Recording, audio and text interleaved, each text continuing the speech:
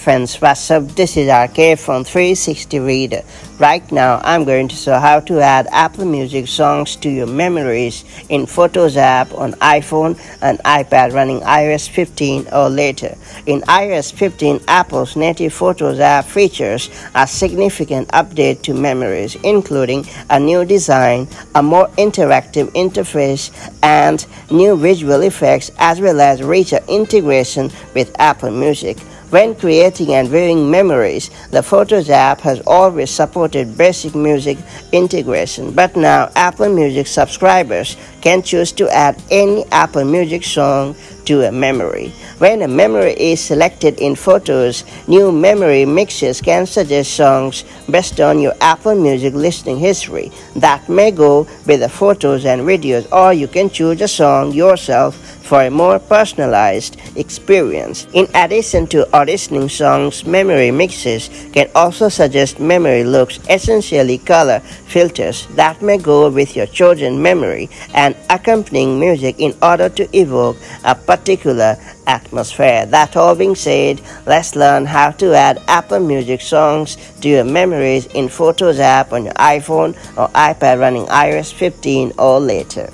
Before getting started, make sure you have subscribed our YouTube channel and also hit the bell icon so that you won't miss any update from 360 Reader. To get going, launch the Photos app on your iPhone or iPad and then select the For You tab. After that, under the Memory section, select a memory you want to edit. Then tap the playing memory to bring up the controls overlay. Then tap the memory mixer icon in the lower left corner. It looks like a musical note with stars.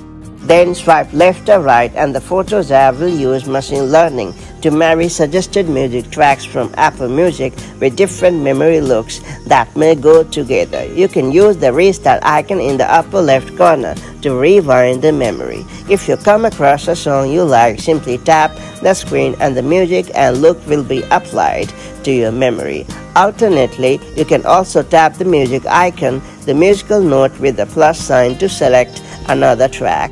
After that, you can browse Apple Music's top suggested songs and other categories, or tap the search icon at the top to find a specific song in your music library. In the end, make sure to tap them when you have chosen a song to preview it in your memory. Then tap the screen and the music will be applied to your memory. That's pretty much it. So that's the way you can add Apple Music songs to your memories in Photos app on your iPhone or iPad. Now that you know how this cool new feature works, make the most of it to enhance your memories. If you have found this tip helpful, make sure to like and share it and I'll see you in the next video with more such helpful tips and tricks. Till then, stay safe and have an amazing time.